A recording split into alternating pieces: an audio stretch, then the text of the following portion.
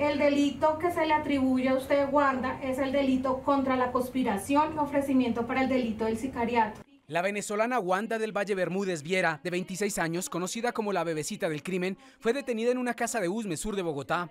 La policía, con el apoyo del FBI, hizo efectiva la circular roja de Interpol.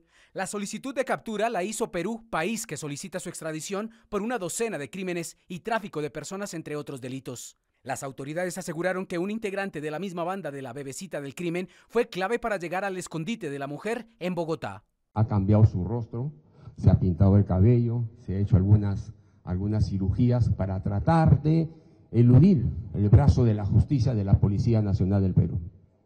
Así es. Y hemos logrado identificarlo plenamente gracias a la coordinación y a las, a las huellas que nosotros teníamos cuando lo intervinimos la primera vez en la discoteca La Cabañita, porque se ofrecía 150 mil soles y es lo que ha funcionado en esta oportunidad.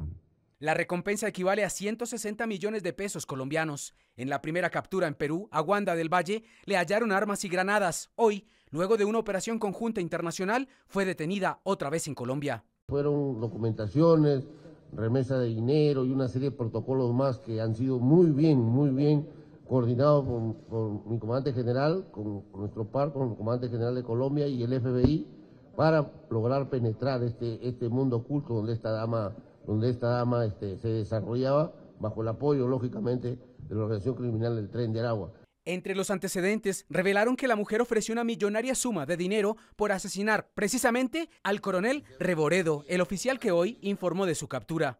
Tuvo la osadía de amenazar a un oficial de la Policía Nacional del Perú, ofreciendo 40 mil dólares para que uno de los delincuentes pertenecientes a su agrupación criminal pueda ultimar y matar a un oficial de la Policía Nacional del Perú.